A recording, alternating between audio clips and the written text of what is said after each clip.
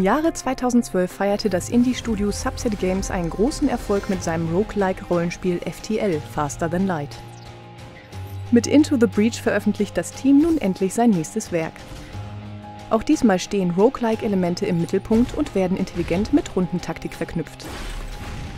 Entstanden ist ein taktisches Kleinod, das den Spieler enorm herausfordert, aber es schafft ihn auch immer wieder aufs Neue zu motivieren, es wieder und wieder zu versuchen.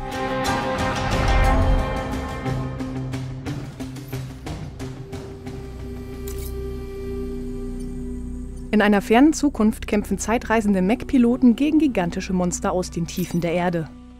Mit eurem Trupp aus drei verschiedenen Mechs ist es zunächst euer Ziel, vier Inseln gegen die Angriffe der Biester zu verteidigen, bevor ihr gegen ihr Nest vorgeht.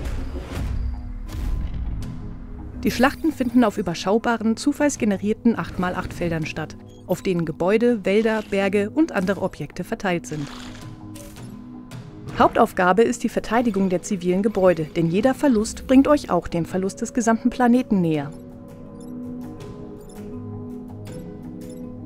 Erfolgreich aus einer Schlacht hervorzugehen, ist kein leichtes Unterfangen, denn der Feind ist euren drei Kampfeinheiten meistens zahlenmäßig überlegen. Außerdem erscheinen regelmäßig neue Gegner, die eure Probleme nur verschärfen. Es geht in diesem Spiel daher auch weniger darum, den Feind komplett zu vernichten, Stattdessen ist man immer darauf bedacht, die möglichen Schäden so gering wie möglich zu halten, indem die Gegner neu positioniert werden. Neben einem gewissen Schaden haben die meisten Angriffe eurer Einheiten nämlich auch einen Push-Effekt. Dieser fällt je nach Mech und Art der Attacke unterschiedlich aus. Um diese Mechanik taktisch sinnvoll nutzen zu können, zeigt das Spiel stets an, wohin sich der nächste Angriff jedes Gegners richten wird und wie viel Schaden er dabei anrichtet.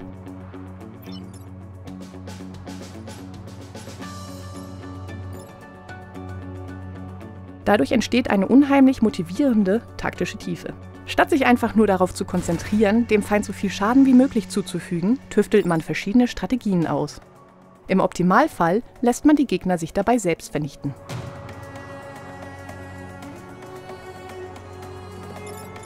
Völlig ohne Schäden gibt es aber kaum. Vielmehr wird man als Spieler häufig vor die schwierige Entscheidung gestellt, was man zum Wohle des Sieges opfern sollte. Wertvolle Lebenspunkte der eigenen Einheit oder doch lieber ein Zivilistengebäude.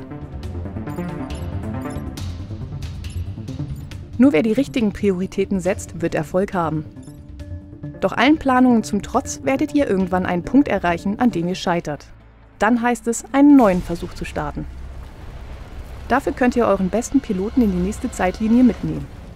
Außerdem schaltet ihr bis zu acht vorgefertigte Squads mit unterschiedlichen Kampfmaschinen frei.